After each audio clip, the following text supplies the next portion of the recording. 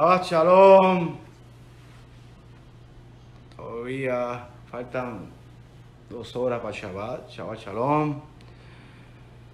A todos los que nos van, nos están, van a ver, ahora, después.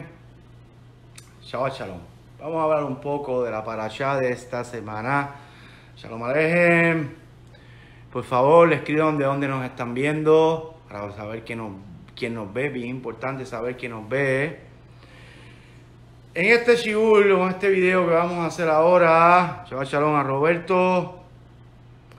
Vamos a hablar de la parashá esta semana de Pinjas. Pinjas, Shabbat Shalom, Shalom Alejem, Ana. Por favor, compartan el video. Hay un botón en su pantalla que dice compartir. Por favor, compártalo. Vamos a ver la parashá Pinjas. Vamos a hablar.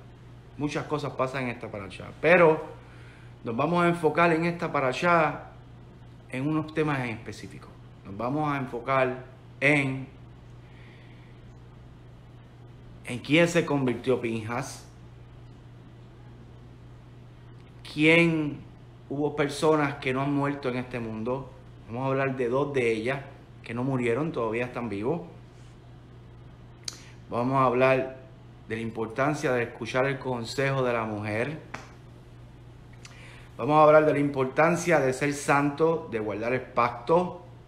Son uno de los temas que vamos a tocar esta, en esta paracha.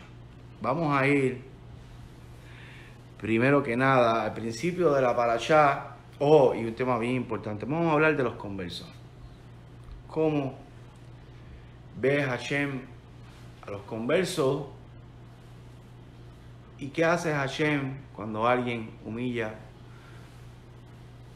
a alguien? A una persona que hace conversión. Vamos a hablar de eso un poco. Vamos a empezar con la Parashá Pinjas, con Bamidbar número capítulo 25, versículo 10.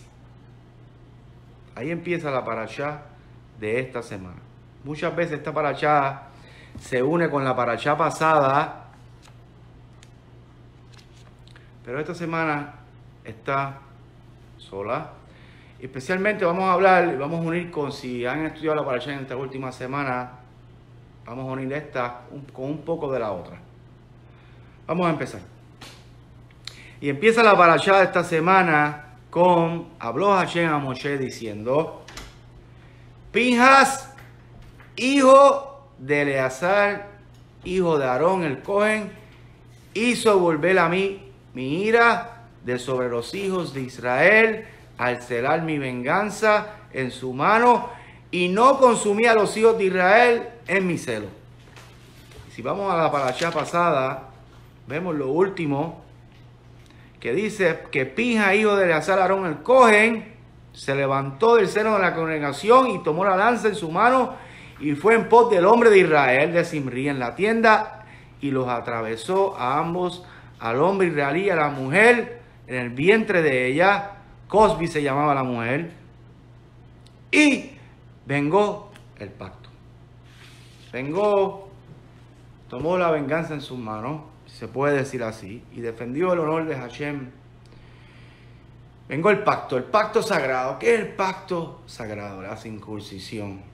Pero el pacto no solamente hacer la circuncisión, eso es, tenemos que ser santos, hacer lo que es correcto, comportarnos como seres santos, porque Hashem nos exige ser santo porque yo soy santo.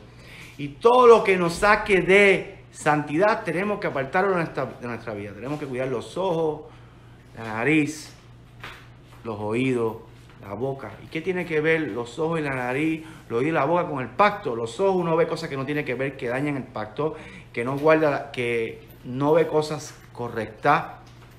Los, la nariz tiene que evitar oler perfumes de mujer, especialmente el hombre. Los oídos tienen que escuchar, tiene que dejar de escuchar charlas que son vanas, promiscuidad. Y la boca tiene que dejar de hablar promiscuidad. Nada que tenga que ver con cosas que no son correctas hablar. ¿Y por qué comienza la parashá con Pinjas, hijo de Eleazar, hijo de Aarón, el Cohen. Algo hizo Pinja, como acabo de leer, que Hashem le dio el sacerdocio. Las tribus de se burlaban de Pinjas porque él venía de una conversa. ¿Y cómo Pinjas va a venir de una conversa si está prohibido en la Torah que un cohen se case con una conversa? Vamos a ver. El Azal se casó con la hija de Itro. Y Trio, como, Itro, como sabemos, se convirtió al judaísmo. Pero Pinjas nació mucho antes de que Hashem escogiera a Aarón y a sus hijos y a, los, después de él. Eso es después de que dio la quejuna, después que dio el sacerdocio. Y como Pinjas nació antes, no fue Cohen.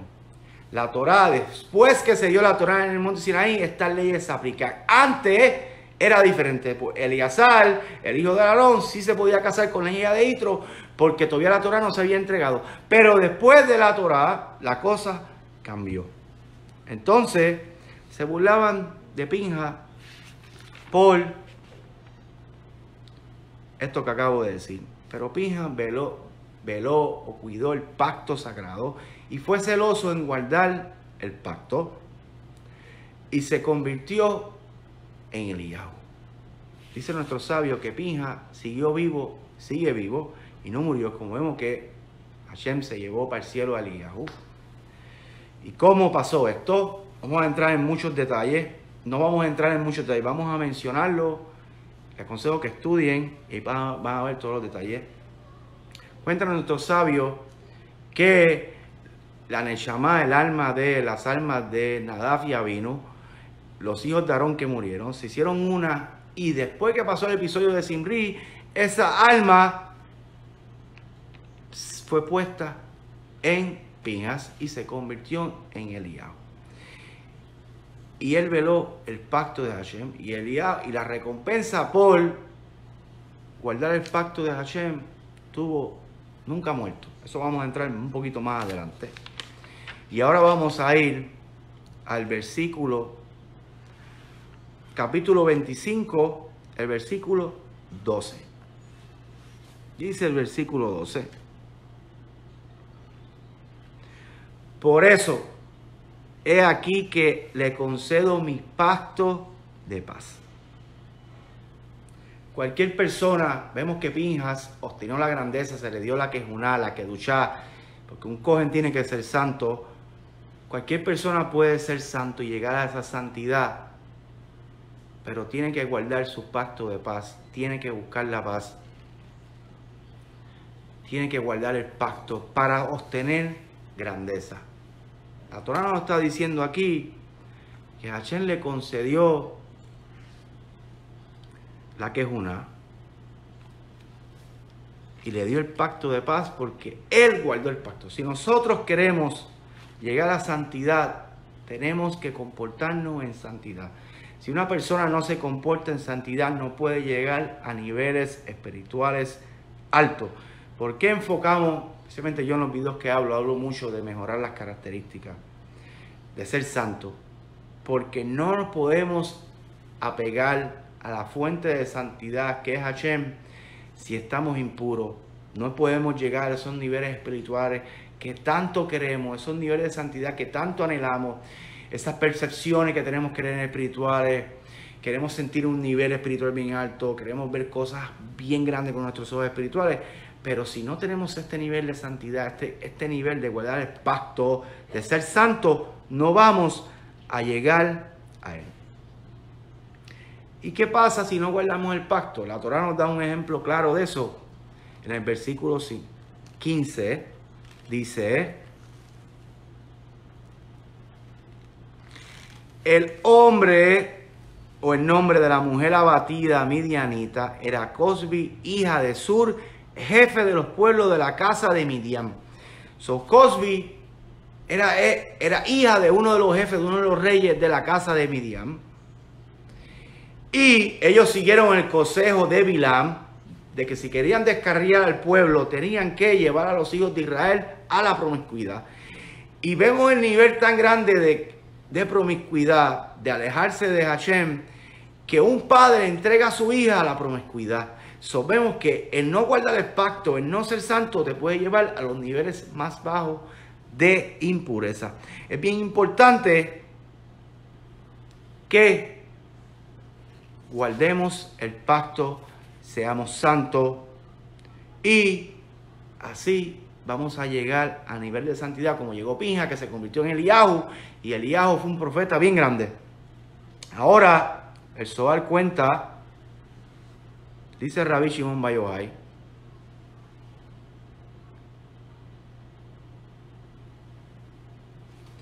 que Pinjas, gracias a que Pinjas guardó el pacto sagrado, Hashem no destruyó completamente el pueblo de Israel. Gracias a que Pinjas guardó el pacto y veló por el honor de Hashem y por guardar el pacto, Hashem no destruyó el pueblo. So, si nosotros queremos eliminar cosas negativas de nuestra vida, queremos quitar de encima de nosotros esos decretos duros que sentimos que por más que hacemos o por más que queremos lograr cosas, no lo logramos porque sentimos que hay decretos duros encima de nosotros, comienza a comportarte correctamente y eso va a cambiar. Las cosas van a cambiar en tu vida cuando comiences a comportarte correctamente y a guardar el pacto sagrado. Especialmente esto es para el hombre. Empieza a guardar los ojos, empieza a hacer lo correcto. Ahora vamos a ver un poco de que cuatro personas, volviendo para atrás lo que le pasó a Pinja, por eso que la Torah comienza con resaltando de dónde venía Pinjas, hubieron cuatro personas que fueron despreciadas a causa de su humilde origen y Hashem defendió su honor. Hubo cuatro personas que fueron despreciadas debido a su humilde origen y Hashem defendió su honor. De Pinjas se burlaron porque descendía de Itro, porque Itro antes era un adorador de, un ídolos, y Dios, Hashem por consiguiente proclamó, eres un digno descendiente de su abuelo Aarón y del fundador de la tribu de Leví. Su antepasado aniquiló la ciudad de Shehem porque él era un celoso contra la inmoralidad. Pinja actuó de la misma manera. Haz lo correcto, compórtate correctamente y Hashem te va a defender y si te sientes agobiado, te sientes prisionero, este, que, te, que te oprimen, haz lo correcto y Hashem te va a defender. Ahora vamos a ir a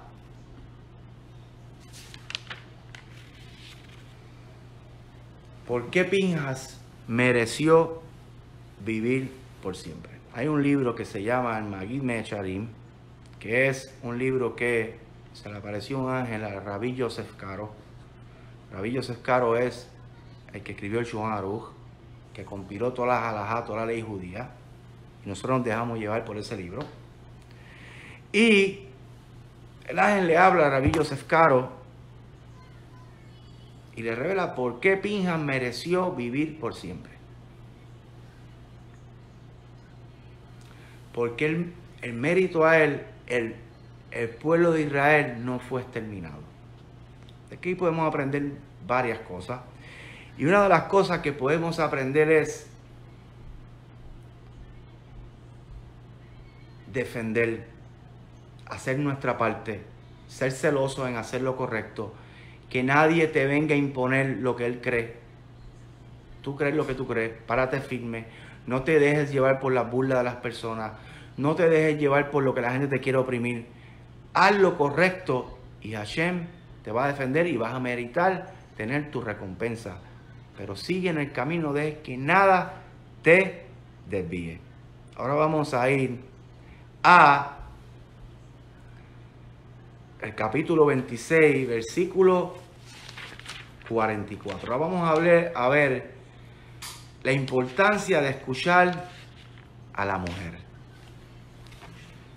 Especialmente los hombres, tenemos que poner nuestro intelecto, nuestro machismo de un lado y escuchar el consejo de las mujeres. Vamos a ver, capítulo 26, versículo 46, dice,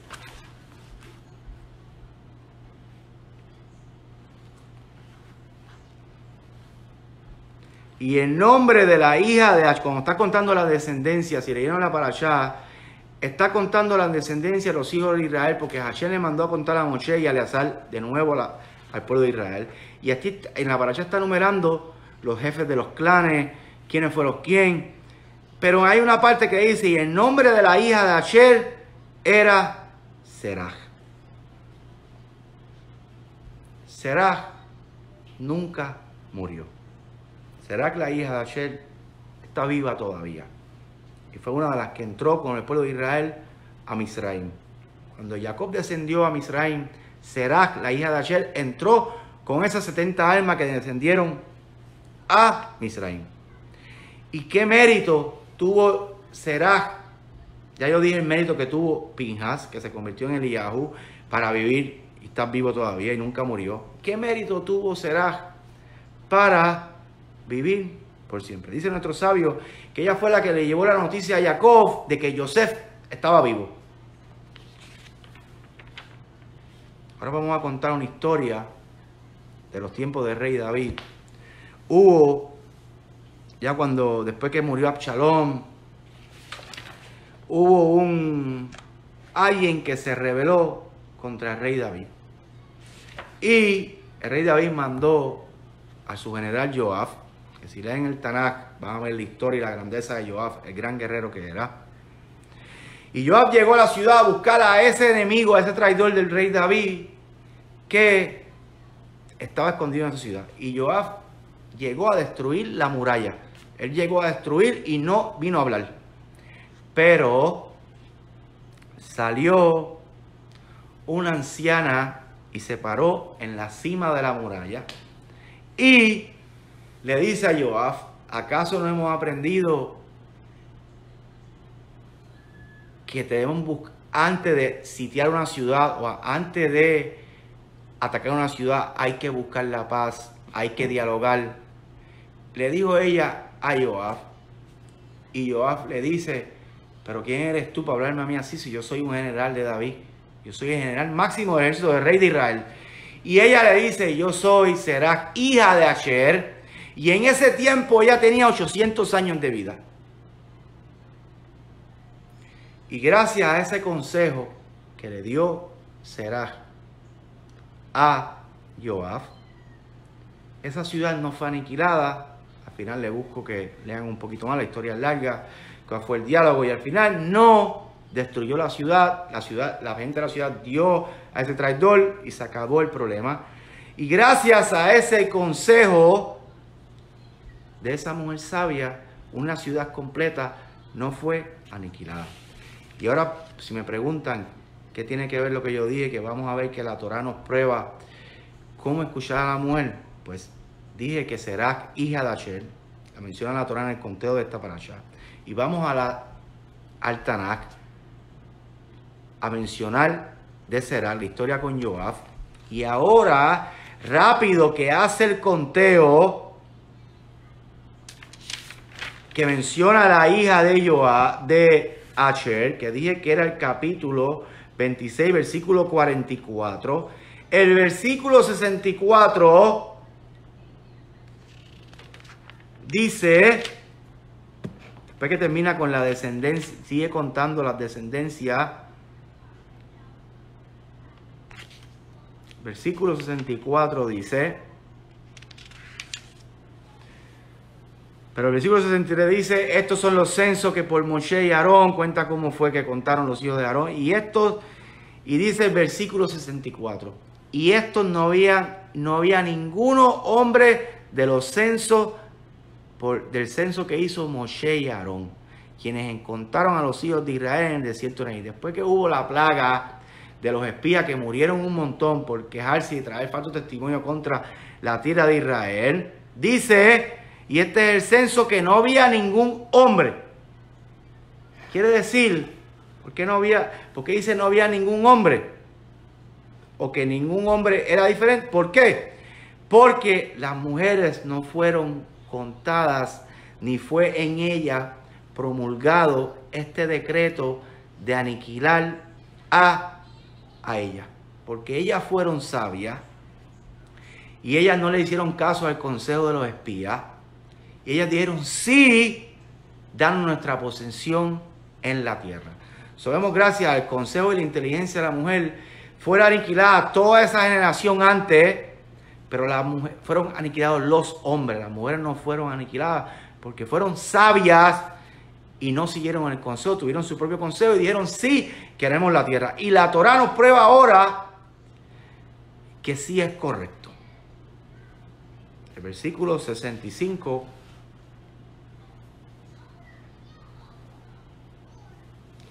Dice, porque había dicho Hashem a ellos, ciertamente han de morir en el desierto, y no quedó de ellos nadie, excepto Caleb y Yehoshua. Todos los hombres murieron, excepto Caleb y Yehoshua. Y rápido el capítulo, brinca el capítulo 27, versículo 1, y se acercaron las hijas de Zelofiat, hijo de Jefel, hijo de Gilad, hijo de Mahir, hijo de Manaché, de la familia de Manaché, hijo de Joseph se acercaron las hijas de descendientes de Joseph.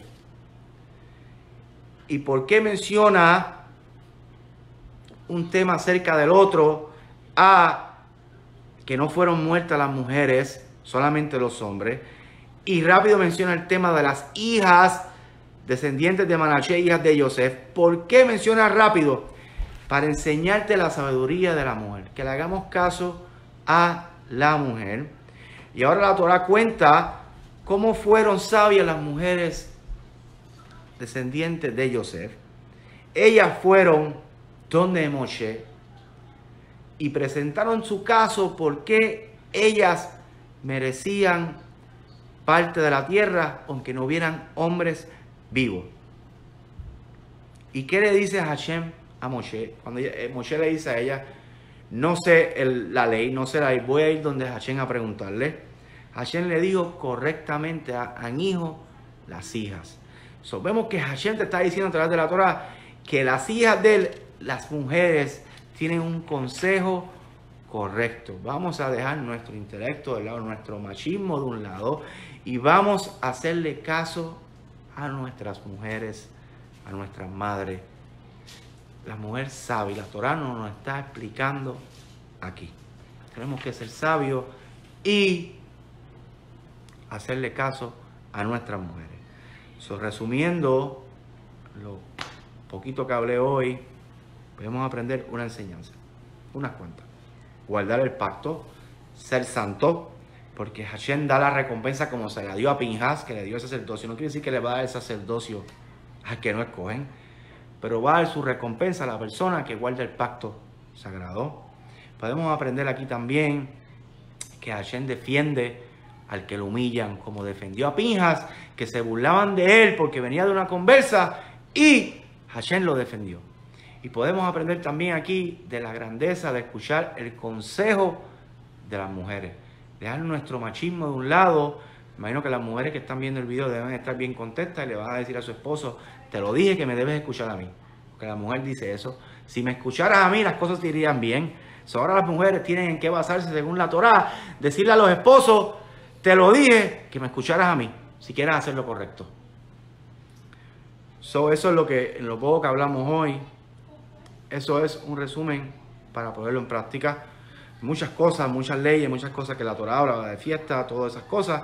Pero mi trabajo por aquí, para aquí nos ve gente de todo tipo de personas, es cómo podemos poner en la práctica la Torah en nuestro diario vivir y cómo tener paz, cómo llegar a niveles espirituales muy altos, guardando el pacto, no desesperarse cuando creamos que Hashem no nos está defendiendo, Hashem te va a defender en su tiempo.